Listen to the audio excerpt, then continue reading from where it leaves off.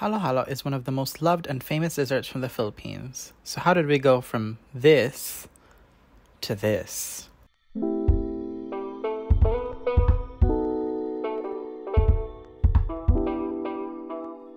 Halo halo is a Filipino dessert made of shaved ice, evaporated milk, a beautiful assortment of fruits, gulaman or agar jellies, nata de coco, sweetened beans, and other amazing toppings. It means mix mix in Tagalog, and the name reminds me of an Indonesian dish called gado gado, which apparently also means mix mix, but that's, well, a peanut salad. So I drifted off topic.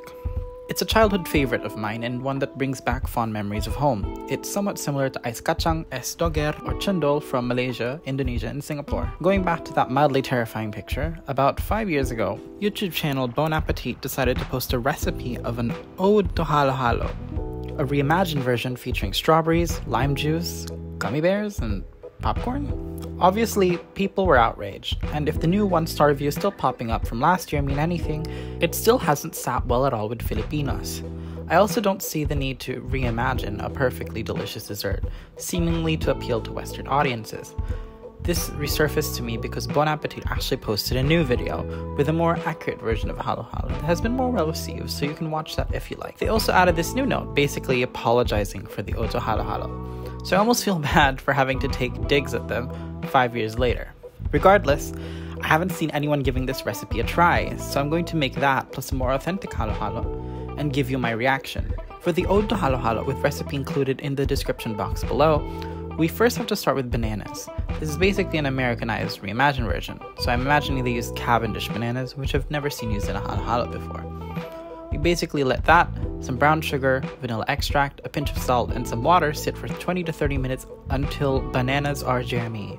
Next, we're gonna combine some blueberries, blackberries, lime juice, sugar, and a pinch of salt. I have no idea why, but we have to mash the berries and release juices. Don't come at me, the recipe said so. And leave it to rest for 15 to 20 minutes. We need to combine the coconut milk and condensed milk into a bowl.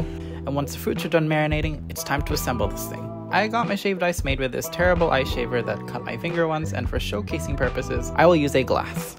We start with bananas, then berries, then shaved ice, vanilla ice cream, alternate that and pour the condensed milk mixture on top. Lastly, we garnish with toasted coconut flakes, gummy bears, and uh, popcorn. What have I created? So I actually tried to like this. I really did try, you guys. I mean, I mean, it's got some preserved bananas and berries, right? I mean, it should just taste like a cute sundae, right? Bingsu? No, it really didn't. Something about the mixture of coconut, berries, and bananas came across a bit strange to me in this format with shaved ice and vanilla ice cream.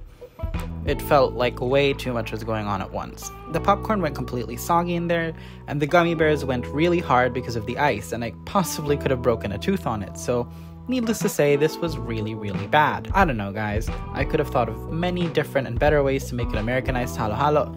Not that it's even necessary, to be honest. But if this is an ode to halo halo and we're going by definitions, this person who made this recipe must have really hated halo halo. But let's move on to the real stuff.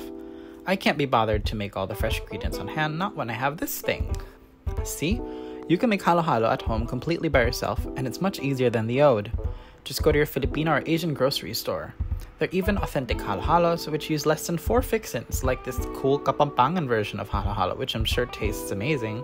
I prepared my great grandmother Mama Didi's leche flan, which, sorry guys, family secret, and some ube ice cream a day before. All recipes referenced will be in the description box below. Now, all you gotta do is assemble.